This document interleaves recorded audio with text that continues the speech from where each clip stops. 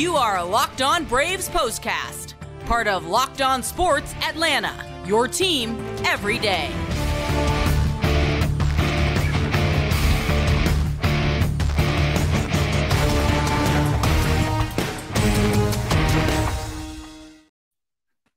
Hello and welcome into the Braves postcast for the Locked On Sports Atlanta. Grant McAuley, Jake Mastroianni with you after game one of a three game set against the Los Angeles Dodgers that I think pretty much played out in the way that you would expect when these two teams meet in an anything that can ha- anything can happen fashion. And we saw a lot happen in this particular game. Unfortunately, the Dodgers were able to stage a comeback, got all the offense they needed for an 8 6 victory over Charlie Morton and the Braves to take the opener of the three game set. We're going to talk all about it the performance of Morton uh, what was going on with the Braves offense, and of course, get you set for game two on Tuesday. Before we do, though, I want to remind you to subscribe to Locked On Sports Atlanta right here on YouTube. Click the bell to get notified every time we drop a new episode. We try to bring as many of these to you as we can. So if you like the work, be sure to tell a friend. Go ahead, hit that like button as well. That won't hurt our feelings, even on a tough night for the Atlanta Braves. And of course, make sure you subscribe to Locked On Braves wherever you get your podcast because Jake has all kinds of great stuff for you all year long. Uh, Jake, I wish I had more great stuff to talk about on this particular game, but not only were we treated to a 40 minute weather delay, uh, but then the Braves came out to their fast start, as we have seen them do quite a few times this year. Unfortunately, the Dodgers had some different plans in the middle innings and later. Yeah, you come out and score four in the first inning, and you got your veteran on the mound and Charlie Morton. You feel pretty good about your chances, even against the Dodgers team that is really good right now. But to come back and then lose that one, this one hurts a little bit. Yeah, this one definitely stings. Let's jump inside the line score of this one. It was game number 47 for the Braves. They came in just like the Dodgers with 29 wins on the year, but we're just a half a percentage point or so ahead of the Dodgers for best record in the National League. Well, the Dodgers are the first team in the NL to get to 30 wins. They're now 30 and 19, eight runs, 12 hits, no errors, six men left on base for LA. Braves 29 and 18 on the year, six runs, nine hits, no errors, and five men left aboard. Evan Phillips picked up the win in relief as Gavin Stone started it for the Dodgers. He got knocked around. We'll talk about that, of course. Phillips, former Brave farmhand, now 1 0 on the year. Charlie Morton now 5 and 4 as he takes a loss in what was a very uneven and a very rough start as the night went on for him. He was kind of uh, punished by a couple of mistakes, and uh, the Dodgers, they had a little bad ball luck on their side, and I'll get into that as well. Brusdar Graterol, his third save of the year, two hours, 54 minutes time of game, plus a 40 minute delay, 40,025 on hand at Truist Park, uh, are paid to see it at the very least. And it seemed like most of them were there. They were very vocal and they were cheering the Braves on, hoping for one of those big time comebacks was not to be on this night. Uh, I guess we can talk about the fast start for the Braves, which was uh, fueled by Ronald Acuna Jr., go figure. But Eddie Rosario's three run homer early on, that staked Charlie Morton to a four run lead. And you would think, Jake, that with a rookie pitcher for the Dodgers and Gavin Stone kind of on the ropes there early, with Morton on the mound, the Braves had kind of lined this thing up the way they wanted it.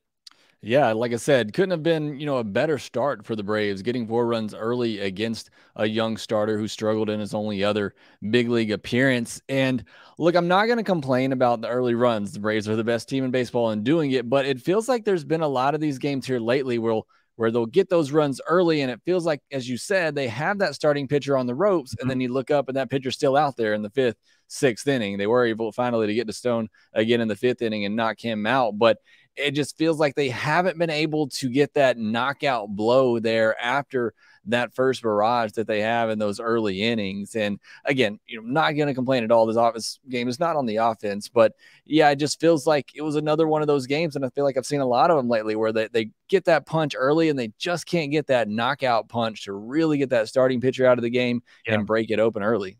Yeah, and to kind of play off the, I guess, the fighter analogy, if you will, you don't want to let it go to the judges' decisions. You want to get that knockout at some point, especially when you get the early, the first round knockdown. We'll call it all of that and, and kind of leave it there. But the Braves, you know, they can do a little punch, counter punch. And unfortunately, on this night, they weren't able to do quite as much as the Dodgers were as they got to Charlie Morton. A 4 nothing lead, as you mentioned. He gave up a solo home run in the second. I've said this and I'll continue to say it you can give up a couple of solo home runs, especially on a night the offense is clicking. That kind of thing is okay. But there was a three run homer off the bat of our old friend Freddie Freeman that was really kind of the uh, the big blow against Charlie Morton after Freddie had sparked a rally in the fourth inning with a hustle double. The Dodgers scored twice there. That made it a one run game. And then, of course, Freeman, his three run homer in the fifth. Jake, I don't know if you looked it up, but um, expected batting average on the Freddie Freeman homer, 070. But it was a fair ball. It was a three run homer. They all count, and who cares what was expected? The actuality is uh, that it put the Dodgers out in front. But it was that kind of night for Charlie Morton on top of everything else. Yeah, no, a little bit of, of tough luck in there, but still was not a great executed pitch by Charlie Morton at all. I mean, that pitch was left over the middle of the plate. It looked like Murphy was wanting it to go back down and away, which they had just gotten Freddie on that a couple of pitches before. But, you know, I thought Francoeur made a great point. You throw a great hitter like Freddie Freeman, four straight curveballs, eventually he's going to get to one. So uh, I thought it was just, you know, maybe a bad pitch selection there, just bad execution as well. It came, came back over the middle of the plate, and Freddie's a great hitter. But yeah, I did see that on Twitter and 070 expected batting average on that one. Tough, little tough break for Charlie Morton there. Like you said, he gave up the solo home run to JD Martinez. You live with that, but first time all year he's given up multiple home runs, and this was a big one, giving up that three run homer to Freddie Freeman. Really flipped that yeah. game. It really did. I mean, and Freddie again was right at it. I mean, Charlie got him in the first inning for the punch out. Freddie got that nice ovation. He didn't get the called strike on him. The umpires let that whole thing play out. I thought that was a nice touch, mm-hmm. you know, letting the humans do the human being things during the game and, you know, let the clock kind of start ticking once it was time for it to get back in. Freddie punched out on five pitches, and then it was pretty much Freddie Freeman's night from the for the rest of the evening against Charlie Morton. And that's a matchup that Freddie has really owned throughout his career. He has uh, gotten to Charlie quite a few times and he did it again on this night. The double that sparked the rally in the fourth inning, as I mentioned, hustling all the way, decided he wanted that double out of the box. And I think that Francoeur made another good point on that broadcast, as we were obviously listening to the same thing at the same time. The track was a little bit slower, the turf was, thanks to that rain. So uh, that's just one of those things that's, you know, is with a player that wants it that bad. You know, Freddie was able to get himself into second. He was brought home. And then the David Peralta triple, I don't know that you could have placed it any better up the line. And you had to place it pretty well to score JD Martinez from first base. He's not the fleetest of foot, but he was a very busy man in this game with a multi home run contest. Final line on Charlie Morton was five innings, seven runs, or excuse me, seven hits in allowing six earned runs, couple of walks, the five strikeouts, and as Jake mentioned, the two home runs for him. Again, stake to a four nothing lead. You would hope that he was able to kind of give the Braves some length. I know that there's always that you know, kind of woulda, coulda, shoulda with, you know, why did you send him back out there in the fifth? But eh, with the position that the Braves bullpen has been in and, and may be in for a while, you got to try to get some length out of your starting pitchers. And for Charlie Morton, you were hoping he could find his way through the fifth, maybe quickly, and maybe even get you into the sixth inning. I know it was kind of a rough night for him in, in a lot of different ways, and clearly it didn't play out that way. But if you're kind of playing, you know, guess along with the manager at home, that would be the reason why, you know, you'd ride it out a little bit further like that. Uh, but it was just not to be for Charlie Morton on this night. We got a lot to talk about, or we have a lot to talk about, I should say, when it comes to the Braves offense, the fast start, and some of the contributions, and a couple of guys who are, you know, maybe struggling a little bit that we're going to talk about in this one as well. But I need to tell you about our great sponsor, eBay Motors, as they are bringing you this episode of the Braves Postcast. A championship team is about each player being a perfect fit, and it's the same with your vehicle. So for parts that fit, head to eBay Motors and look for the green check. Stay in the game with eBay Motors Guaranteed Fit. ebaymotors.com. Let's ride. eBay Guaranteed Fit, only available to U.S. customers, eligible items only, and of course, exclusions apply. Uh, so as we look at what happened for the Braves offensively, it seemed like it was going to be, as we mentioned, the uh, the recipe for success. Ronald Acuna Jr. with a double that got over the head of the center fielder. I don't think Ronald expected that ball to fall. It did. He made it to second. He'd come around to score. Uh, a little bit of fun later on for Ronald in the fifth inning as he was trying to get the Braves back in the game. A walk to Matt Olson. Ronald just takes off for third since they decided they'd shift around a little bit on the Dodgers infield. A heady play, but the Braves were just not able to get, as you said, Jake, I think the knockout blow they were looking for. They grounded into three double plays in this game. That short circuited some rallies as well. Yeah, double plays have been a huge problem for the Braves this year. I don't know what you do about that necessarily, other than to try to work on your launch angle and not hit the ball on the ground so much. But yeah. uh, it's just been, I mean, ridiculous the amount of double plays they've hit into this year. I know Austin Riley's on a record pace for what he's done, but really it's the entire team has hit into a lot of double plays this season. And that obviously hurt a lot of rallies because a lot of those were leadoff runners that you get on and you think, you know, Braves are going to start a rally and then the double play just kills it instantly. But I mean, again, you put up four runs in the first inning. Uh, you expect that to be a, a, win in a game that you're going to end up scoring a lot of runs, and the offense, you know, could get that knockout blow. They had some opportunities late. I never really felt like they didn't have an opportunity with their bats to come back and win this one. Like you said, just little bit of batted ball luck. Eddie Rosario hit scorched oh, a couple of balls up yeah. the middle that he absolutely got robbed on. So again, just a little bit of uh, batted ball luck didn't go their way as well, and uh, just couldn't find those multi-run in- innings late in this game to get the comeback. Sean Murphy not tagging up at third on one of those balls hit by Eddie yeah. Rosario cost the Braves a run as well. So again, just Dodgers executed a little bit better in the big spots in this game than the Braves did, and ultimately that's what it came down to. Yeah, they did. And Eddie Rosario, you mentioned uh, not just a three run homer in this game, as I'm sure the Dodgers are probably already tired of seeing Eddie Rosario when these two teams match up, but he got him again in the first inning. There's two more Rockets you mentioned, one up the middle to short, which started a tough luck double play for Eddie, but the one that Sean Murphy was unable to tag on or didn't tag on you know, that was a play that felt like it was going to loom large. You, you, lose by two, so maybe it doesn't feel as bad as it would have in a one-run game. But I think Sean was out of the out of the moment for whatever reason. I don't know what would have gone on because I was not inside his head, but you could tell immediately he realized he had made a mistake there. A nice diving play in center field though to uh, to make that catch. A 930 expected batting average on that liner from Eddie. He's been blistering the baseball for folks that have kind of been wondering like why is Eddie Rosario in the middle of the lineup? Well, for games like this where he hits you a big home run and hits another couple of rockets, just they did not fall in on this day. Speaking of guys who have been really hitting the ball well in the month of May, how about Marcell Ozuna? Two more hits in this one, knocked in a run, drew a walk as well, drew the ire of Will Smith, the Dodgers catcher, with that big backswing.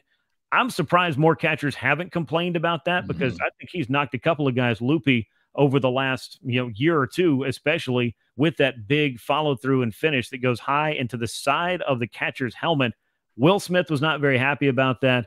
Uh, whatever your feelings are about the opposing team, maybe taking it a little bit, you know, more personal than it was that's still something that should not happen. I don't think as much as it does. Yeah, it happens a lot for Marcell Ozuna. I mean, I, I, get it. That's his swing. That's his swing path. But yeah, I mean, it happens a lot. I'm not going to be surprised if it happens again in this series. And I, I, don't know if this is over with. I mean, as often as yeah. he does that, but you know, getting back to his play on the field, he's starting to give you a little bit of everything. You know, one of my criticisms of Ozuna is that he's just been so one dimensional. It's just mm-hmm. been home run or bust. But now tonight you saw him go the other way twice for a couple of hits. You saw him take a walk. I mean, he's starting to do other little things that make you think, okay, he can be more productive in this lineup. So that's very encouraging to see. We'll see if it sticks. We've been kind of teased by him before with these hot streaks, but you know, now he's on a you know what two, two and a half week hot streak now here that he's had. I mean, the whole month of May, I guess you could May, say. So uh so I mean, again, he's really showing improvement. But for me, it's just the fact that he's doing all the other little things. He's taking the ball the other way. He had that bloop RBI hit uh, the other way in a, a couple of games ago. He's taken his walks, so he's starting to be more of a complete offensive player, and it's not just home run or bust. Yeah, Ozuna has more than doubled his walk rate from a year ago. And if you're looking for kind of what's been going on in the month of May, he's currently on a nine game hitting streak, another multi hit performance tonight, as you joked about yesterday. But hey, it's kind of worth celebrating. He's up over 200 for the year and continues to rise. And he's on a 17 game on base streak. So if you're looking for hitters that have been helping the Braves cause in the month of May, Marcell Ozuna's name has got to be up towards the top of that list. Uh, one guy who's been having a very tough time here in May and has kind of had, I feel like, a weird start stop kind of season with the stint on the injured list, with the scare with the knee. Uh, that, of course, would be Michael Harris, the second. 0 for 4 again today. Last six games, 0 for 22, Jake. No walks, six punch, excuse me, five punch outs. A couple of them came in this game, batting just 163 now in 2023 on base percentage, not altogether that much higher, though he is walking a little bit more this year than he was a year ago. I'm still in the camp that, you know, maybe you can give him a day here or there if it's against a tough lefty and you're just kind of trying to get him going. But I don't know that there's any substitute for going out there and getting reps and hitting his way through it, especially because he's already missed significant time here early in the season. Yeah, and, and it's tough because you hope it doesn't become a mental thing now where he's just struggling so much that he's getting into his own head. I'll give a little shameless plug here because on Tuesday's podcast, I'm going to do a deep dive into what's going on with Michael Harris and the struggles he's having. And it's yeah. really quite fascinating to look at because the StatCast numbers, they're all pretty much on par with where he was last year. And the strikeout rate is down, the mm-hmm. walk rate is down. It's really, you know, not to give it away, but he's just not getting to the sweet spot as much. He's just a little bit off with his contact. And whether that is just because of the timing and because of the slow start, kind of up and down, I don't know. But I don't think he's far off. But now I just worry that it's getting into his head and he's, uh, you know, not just in, I want to say he's engaged, but I mean, you looked at it, some of the at bats tonight, and it just, he looked uncomfortable. He looked like somebody who was lost at the plate a little bit. And so you hope that's not getting to him. Again, just a quick glance at all the StatCast numbers, they're right on par with it where he mm-hmm. was last season. I think he's just a tick off with his contact and, and how he's contacting the baseball.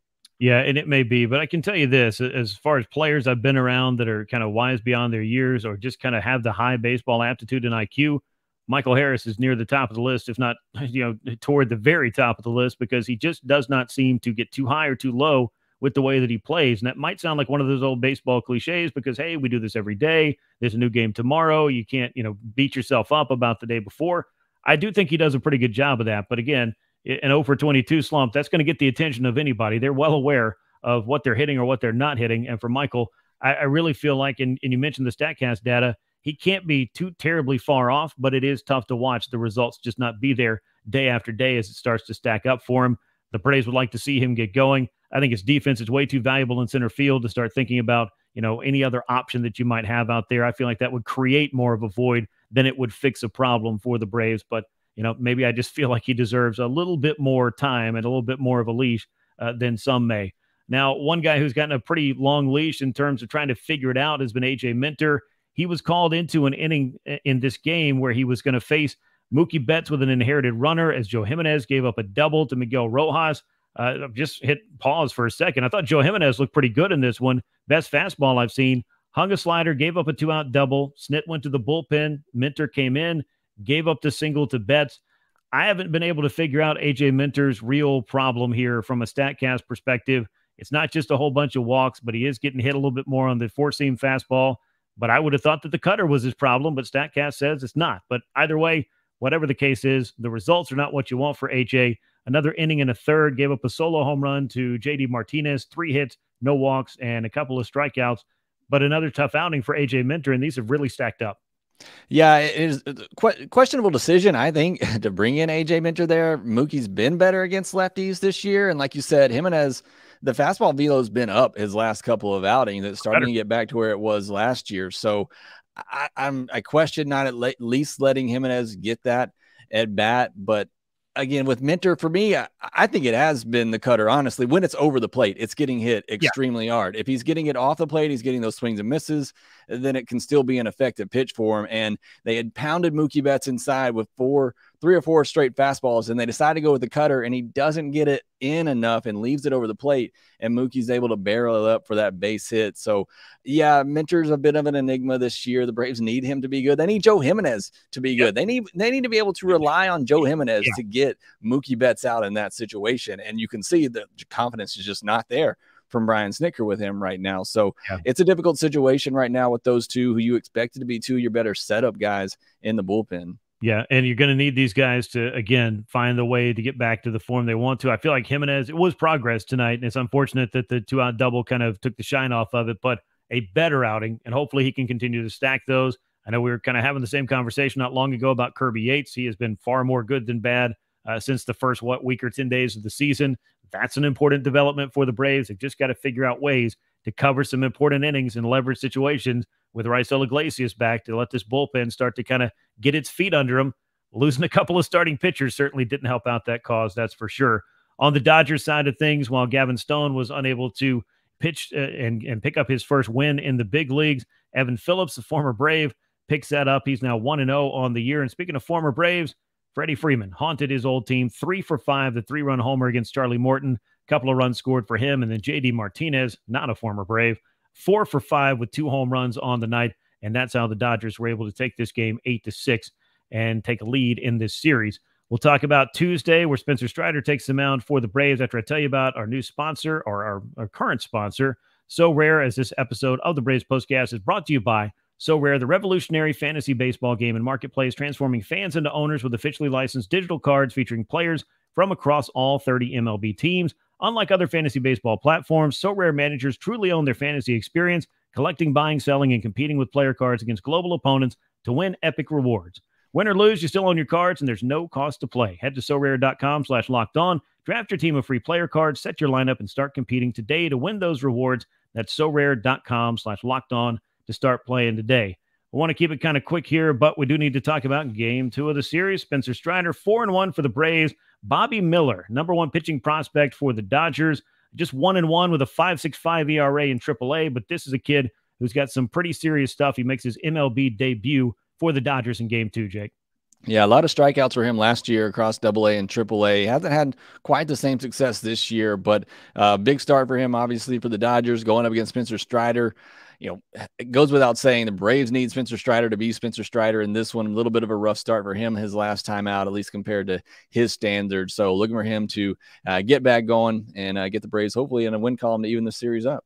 Yep, Braves would like to even it up behind Strider as he goes for his fifth win of the year, and Bobby Miller makes his major league debut. 7:20 p.m. Eastern Time, the first pitch at Truist Park for the Braves and Dodgers in Game Two. A rough one on Monday for Atlanta, unable to hold on to an early lead as the Dodgers grab an 8-6 win over the Braves to open up this three-game series. We'll be back with you though as the series continues right here on the Braves Postcast, part of Locked On Sports Atlanta. Make sure you're subscribed on YouTube and make sure you're subscribed to Locked On Braves wherever you get your podcast. For Jake Mastroianni, I'm Grant McAuley. We will catch you next time. And until then, so long, everyone.